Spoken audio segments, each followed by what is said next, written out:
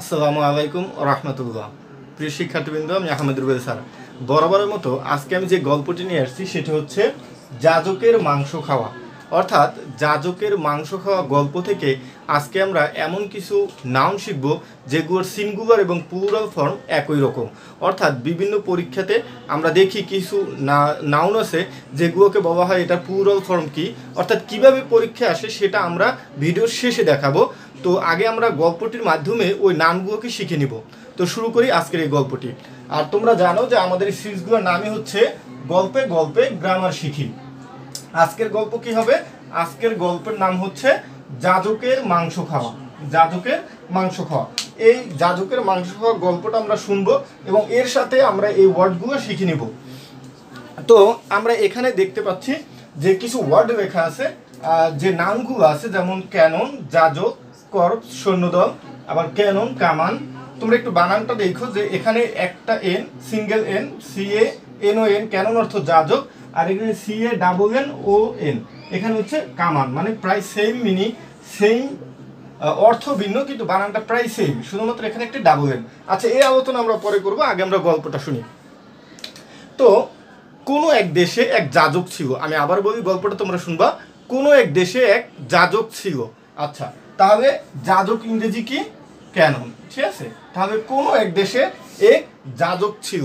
ওই যাজকের হঠাৎ একদিন মাংস খেতে মন চাইছে। কি চাইছে? মাংস খাবে। তাহলে আমি আবার একটু রিপিট করছি। কোনো এক দেশে এক যাজক ছিল, হঠাৎ একদিন তার মাংস খেতে ইচ্ছে করছে। তো সে কি করছে? তো যাজকের কিছু সৈন্য ছিল।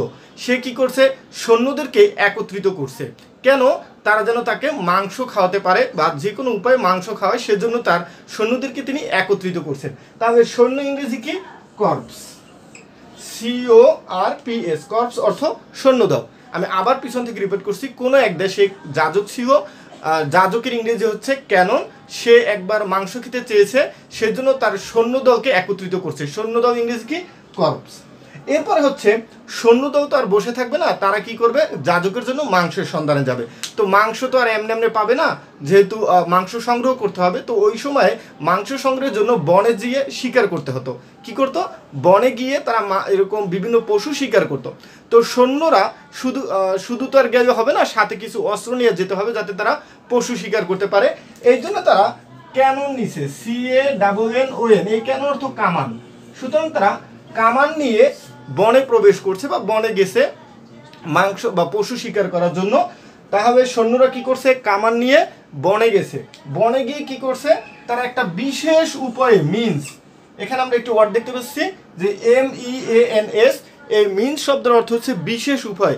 যেহেতু সৈন্যদল তারা বিশেষ কোনো কৌশল দিয়েই কি পশু শিকার করবে, তো তারা একটি বিশেষ উপায়ে মিন্স তাহলে মিন্স শব্দটা কি একটি ওই নামের মধ্যে পড়ে।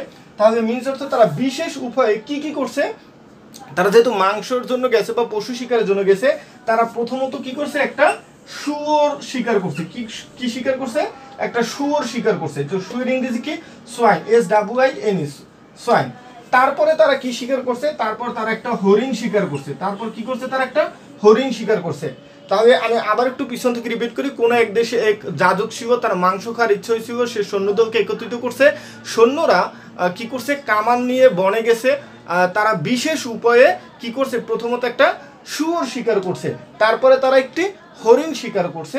এরপরও তারা থেমে নেই। তারপরও তারা আরেকটি ভেড়াও শিকার করছে। তারপর কি শিকার করছে? তারা একটি ভেড়া শিকার করছে। তারপরে কি করছে? শুধু শুয়োর, হরিণ আর ভেড়াই শিকার করে নেয়। তারপরে তারা আরও কয়েক প্রজাতির স্পিসেস ঠিক আছে? S P E C I S species অনেক প্রজাতি বা কয়েক প্রজাতির। এবং তারা আরও কয়েক প্রজাতির পশু শিকার করছে। এখন কত সংখ্যক করছে? সেটা বলছে যে গ্রোজ মানে এক ডজন। এবং আরও কয়েক প্রজাতির তারা এক ডজন। ইংরেজিতে এক ডজনকে গ্রোজ বলে। সরি, বারো ডজনকে গ্রোজ বলে। যদি আমরা জানি বারোটা এক ডজন হয় আর বারো ডজনকে ইংলিশে গ্রোস বলে, ঠিক আছে? তাহলে কি করছে তারা? তারা প্রথমে একটা শুয়োর শিকার করছে, তারপর তারা একটা হরিণ শিকার করছে, আর এই ইংরেজিগুলো আমরা এমনি জানি যে হরিণ ইংরেজি ডিয়ার। তারপর হচ্ছে কি? তারা কি ভেড়া শিকার করছে, তারপরে আরও কয়েক প্রজাতির প্রায় বারো ডজন, কত ডজন? বারো ডজন তারা পশু শিকার করছে। কি করছে? পশু শিকার করছে, ঠিক আছে? রেখে দিলাম পশু শিকার করছে। আচ্ছা পশু শিকার করছে, এই পশু শিকার করতে যাই তাদের অনেক ঘটনা তাদের মধ্যে ঘটে গেছে। তো অনেক ঘটনা আর ইংরেজিটি হচ্ছে, অনেক ঘটনার ইংরেজি হচ্ছে সিরিজ। সিরিজ। আমরা বলি না এই সিরিজটা তোমরা দেখেছ, নাটকের এই সিরিজটা দেখেছ, এরকম বই না। আমি একটু দেখিয়ে দিচ্ছি যে কি করছে, যে অনেক সিরিজ ঘটে গেছে মানে অনেক ঘটনা ঘটে গেছে। তো প্রিয় শিক্ষার্থী, আমি এই ওয়ার্ডগুলোর ব্যবহার একটু পরে শিখিয়ে দেবো, তবে আবার একটু গল্পটা রিপিট করছি। যাতে তোমাদের একদম মুখস্থ হয়ে যায়, সেটা হচ্ছে কোনো এক দেশে এক যাজক ছিল। যাজকের ইংরেজি কি? কেন? তার একদিন মাংস খেতে ইচ্ছে হয়েছে, তাই সে তার সৈন্য- সৈন্যদেরকে একত্রিত করছে। সৈন্য ইংরেজি কি? কর্পস। তারপর হচ্ছে কি, সৈন্যরা কি করছে? তারা তো বসে থাকবে না, তারা বনে যাবে মাংসের সন্ধানে। এই জন্য তারা কামান নিয়ে গেছে। কি নিয়ে গেছে? কামান। এই কামান ইংরেজি হচ্ছে C O N N O N cannon এটা হচ্ছে কামান। তারা কামান নিয়ে গেছে। শুধু কামান নিয়ে গেলে হবে না, তার একটা বিশেষ উপায় বা কৌশল অবলম্বন করছে। তার বিশেষ কৌশলের ইংরেজি হয়েছে যে মিমস তারপর হচ্ছে বিশেষ উপায়ে তারা কি কি শিকার করছে? তার প্রথমত একটা শুয়োর শিকার করছে, তারপর একটা হরিণ শিকার করছে, তারপরে তার একটা ভেড়া শিকার করছে এবং প্রায় বারো ডজনের কয়েক প্রজাতির, অর্থাৎ কয়েক প্রজাতির বারো ডজন গ্রোস মানে বারো ডজন, বারো ডজনের তারা পশু শিকার করে যাজকের জন্য আনছে। এবং এই আনার মধ্যে থেকে অনেকগুলো ঘটনা ঘটে গেছে। এই অনেকগুলো ঘটনাকে বলা হয় সিরিজ, ঠিক আছে? সিরিজ যেমন আমরা বলি না, নাটকের একটা সিরিজ। তো প্রিয় শিক্ষার্থী এই ছিল আমাদের কিছু গ্রামারের কিছু নাউন যেগুলোর সিঙ্গুলার এবং পুরাল ফর্ম একই রকম হয়। অর্থাৎ এরা সিঙ্গুলার হোক পুর হোক, তাদের রূপটা একই থাকবে। অর্থাৎ যদি প্রশ্নে বলে যে নিচের এখন কীভাবে প্রশ্নে আসে সেটা আমি তোমাদের দেখাবো। পরীক্ষায় কীভাবে আসে? এই অর্থগুলো আমরা মুখ- মুখস্থ করে নিব গল্পের মাধ্যমে যাতে আমাদের পরীক্ষায় আহ, প্রশ্ন আসে সহজে আমরা অ্যান্সার করতে পারি।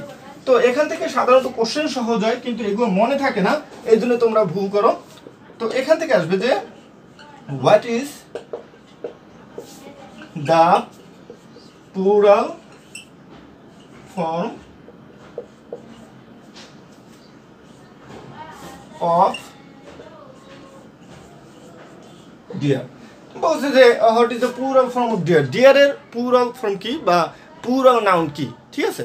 তো এটা আমি ডিয়ার কি? যে হরিণের গল্প মনে আছে, সে একটা হরিণ শিকার করছে, তো এটা ডিয়ার বানানোটা যেরকম এখানে আমরা এরকম ডিয়ার এস যোগ করে প্লুরাল করতে পারব না। কারণ কি, আমরা জানি কোনো নাউনের সাথে এস হলে নাউন প্লাস এস সমান সমান প্লুরাল হয়, তাই না? তাহলে যদি আমরা পরীক্ষা আছে প্লুরাল ফর্ম আমরা এটার সাথে এর যোগ করতে পারব? না আমরা এর যোগ করতে পারব না কারণ কি? এই ডিয়ার এর ফর্মটা এটা সিঙ্গুলার আর প্লুরাল সেমই থাকে। তো আজকের লেসনে এটাই ছিল আমাদের মূল শিক্ষার বিষয়। তো আমরা গল্পের মাধ্যমে নামগুলো শিখাম। সবাই আমাদের সাথে থাকো। আমাদের স্পেশাল গ্রুপ আছে দুইটা একটা হচ্ছে অক্সফোর্ড কমার্স কোচিং গ্রুপ আর একটা হচ্ছে আহ, আহমেদ স্পেশাল ইংলিশ কার আর আমাদের ইউটিউব চ্যানেলে তো তোমরা অলরেডি সবাই যুক্তই আছো। সবাই ভালো থাকো সুস্থ থাকো। আহমেদ রুবেসের সাথে আল্লাহ